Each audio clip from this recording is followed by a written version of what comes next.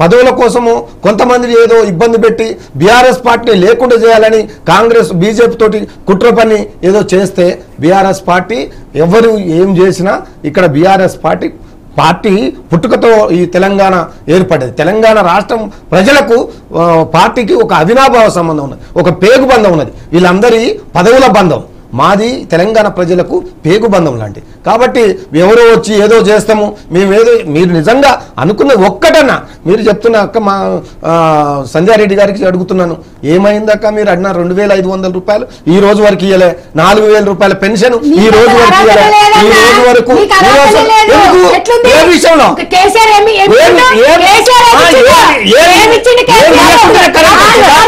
మనం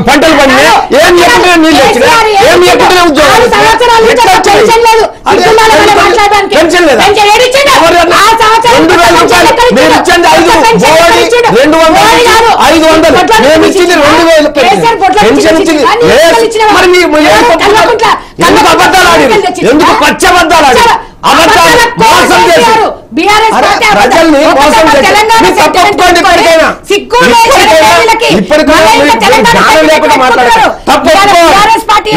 ఇప్పటికైనా- ప్రజలకు మేము మోసం. చేశాము.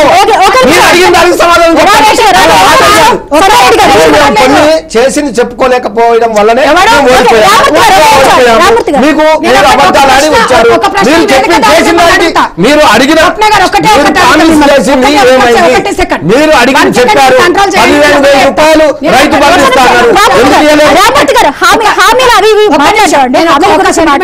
ఇప్పుడు ఒక కంపెనీ ప్రాజెక్ట్ తీసుకురారు. ఆయనకు సబ్జెక్ట్ లేకపోతే డైవర్ట్ చేస్తాడు. నేను అనేది ఏంటంటే ఒకటే పార్టీ ఫిరాయింపుల గురించి మనం మాట్లాడినట్టయితే గతంలో మీరు ఏం చేసిరు ఆకాశం మీద చూస్తే నీ మీద పడుతుంది. నువ్వు ఏంటి? ఒక్కటి గుర్తుపెట్టుకో. అరే ఒక్క నిమిషం.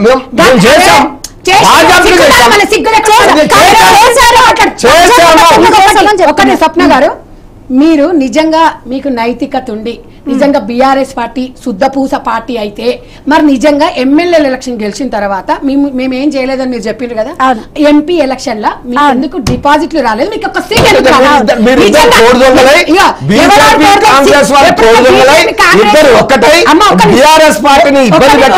అర్థమైపోయింది కదా?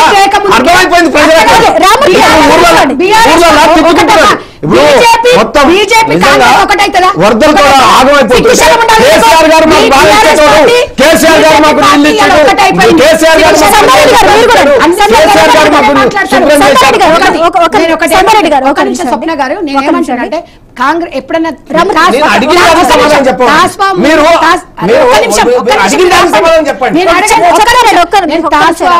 ఒకటండి. తాస్వాము ముంగిస స్నేహం వస్తుందా? ఒక మాట.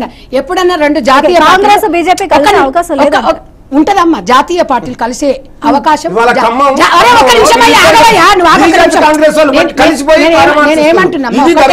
చెప్తున్నా. అనడం కాదు. చెప్తున్నా. ఒకటి నేను ఏం చెప్తున్నా అంటే.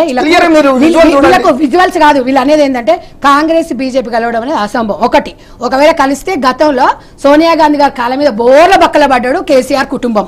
అట్లా అట్లా బోర్ల బక్కల పడి సంగారెడ్డి గారు, ఒక నిమిషం. అమ్మ నేను. క్లారిటీ ఇవ్వాలి. ఎప్పుడు కూడా ఇలా బీజేపీ వాళ్ళ కాళ్ళ మీద మీరు పడితేనే ఇవాళ మీ ఓకే, రామూర్తి గారు రామూర్తి గారు మనకి మనకి మరొక గెస్ట్ మనకి జూమ్లో అందుబాటులో ఉన్నారు. వారితో కూడా మనం ఒక్కసారి మాట్లాడు, మాట్లాడదాం. మాట్లాడు. సత్యం గారు. సత్యం గారు. చెప్పండి. ఎలాగో ఉప ఎన్నికలు వస్తాయంటూ కూడా ఫిక్స్ అయ్యారు. ఒకవేళ ఉప ఎన్నికలు వస్తే